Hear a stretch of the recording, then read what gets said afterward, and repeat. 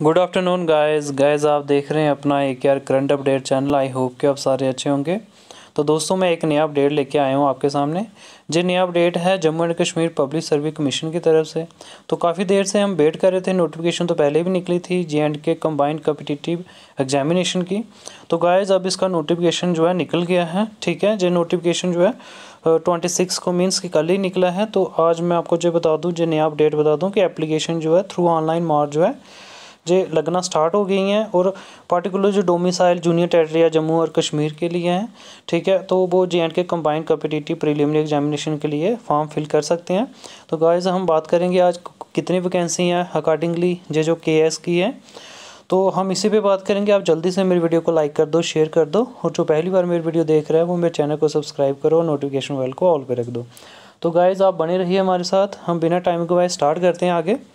तो गाइज़ इसमें मैं आपको बता दूँ, जो Jammu and Kashmir public service commission की तरफ़ से जो नोटिफिकेशन निकला है, जिसका सब्जेक्ट है J and K combined competitive preliminary examination 2021 तो इसका नोटिफिकेशन नंबर बताया एप्लीकेशन थ्रू ऑनलाइन मार्ट जो है वो इनवाइट की जा रही है एप्लीकेंट से, जो डोमिसाइल है, जिनका duty of Jammu and Kashmir का, वो J and K combined competitive preliminary examination के लिए जो पीयर होना चाहते हैं।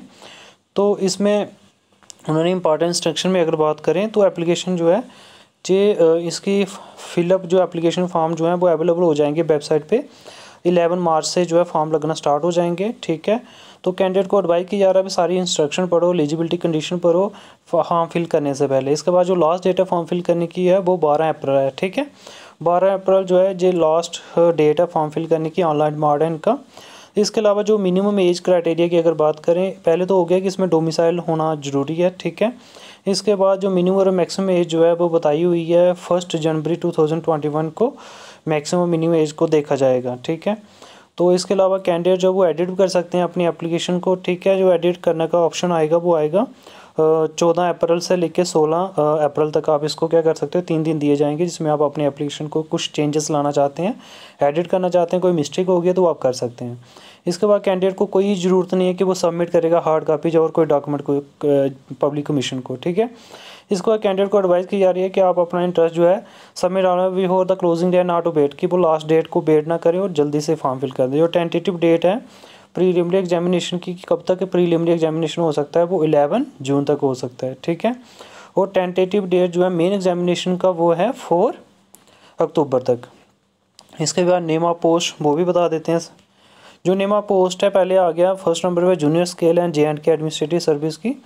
फिर सेकंड नंबर पे J and K police general service की और J and K account general service की। तो इसमें अगर पे स्केल की बात करें तो पे स्केल रहेगा इसका नाइन्टी थ्री हंड्रेड से, ठीक है? Thirty four hundred eight hundred से लेके ग्रेड पे रहेगी फोर्टी एट हंड्रेड और अब रिवाइज करके इसका जो पे स्केल लेवल एट का बन गया है forty seven thousand six hundred से लेके one lakh fifty one thousand और हंड्रेड तक। इसके बाद नंबर ऑफ़ वैकेंसी की बात करें junior scale J and K administrative service की अगर बात करें तो इसमें फिफ्टी सिक्स टोटल वैकेंसी हैं। ओपन मेरिट की ट्वेंटी एट रहेंगी आर बी ए की सिक्स हैं एस सी की फाइव हैं एस टी की पाँच छः हैं। A L C I B की दो हैं ई डब्ल्यू एस की पाँच है पी एस पी की दो हैं और एस एल सी की टू हैं। इसके बाद जो सेकंड नंबर पे है J and K police service general की, इसके थर्टी फाइव ओपन मेरिट की हैं आर बी ए के साथ हैं। एस सी की छः हैं एस टी के साथ हैं A L C I B की तीन है। ई डब्ल्यू एस के साथ हैं पी एस पी की तीन है एस एल सी की तीन है और ओवरऑल इसकी भी सेवेंटी वन है। और इसके बाद जो थर्ड कैटेगरी है J and K account general service की, इसकी थर्टी वन जो है thirty one vacancy open merit की, इसके बाद आर बी ए की हैं सिक्स एस सी की पाँच हैं एस टी की छः हैं A L C I B की दो हैं ई डब्ल्यू एस की छः हैं पी एस पी की दो हैं एस एल सी की टू हैं और ओवरऑल जो है सिक्सटी हैं। तो ओवरऑल पूरी अगर वैकेंसी की बात करें तो वन एटी सेवन वैकेंसीज़ हैं, ठीक है? जो टेंटेटिव शेड्यूल एग्जामिनेशन का, जो डेटा प्रिलिमिनरी एग्जामिनेशन उनके दो सेशन होंगे तो इलेवन जून से मंस बताया हुआ है और डेटा मेन एग्जामिनेशन जो है फोर अक्टूबर तक। इसके बाद कंडीशन ऑफ़ एलिजिबिलिटी वो भी बताई हुई है। वो कैंडिडेट जो फॉर्म फिल करेगा, वो ड्यूटी का डोमिसाइल होना चाहिए उनके पास और bachelor degree minimum bachelor degree होनी चाहिए, चाहे वो किसी भी स्ट्रीम में हो, ठीक है?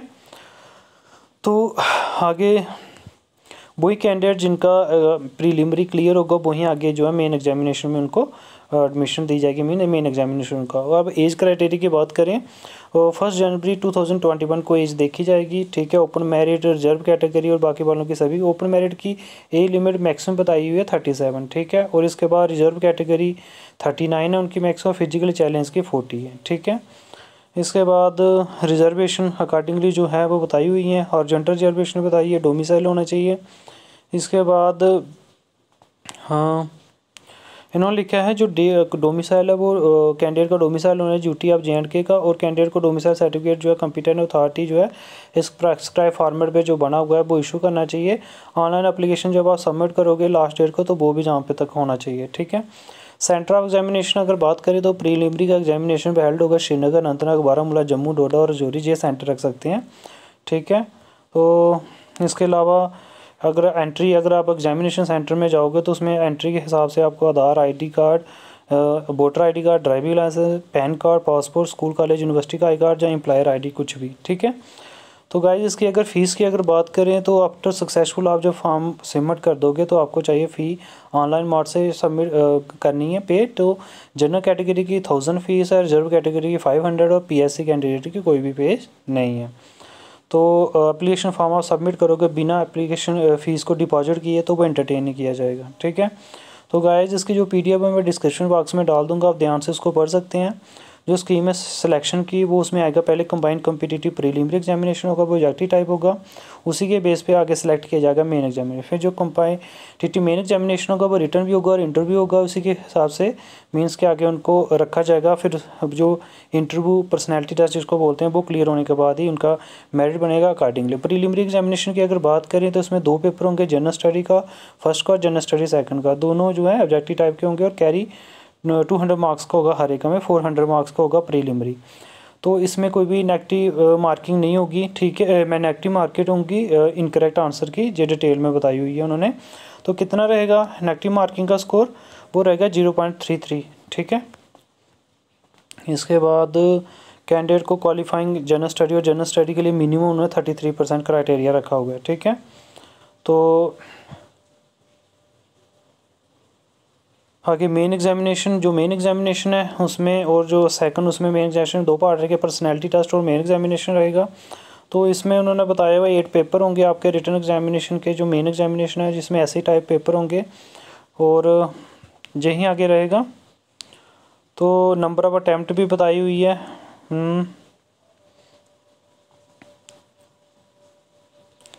तो गाइस आप जो फॉर्म जल्दी से भरो। अगर फ़िज़िकल स्टैंडर्ड की बात करें जे एंड के पुलिस गैटर सर्विस की बात करें तो इसमें हाइट कितनी चाहिए? 165 सेंटीमीटर हाइट चाहिए, ठीक है? मेल के लिए और फीमेल के 150 चाहिए। चेस्ट अकॉर्डिंगली बताई हुई है, ठीक है? वो भी देख लेना आप।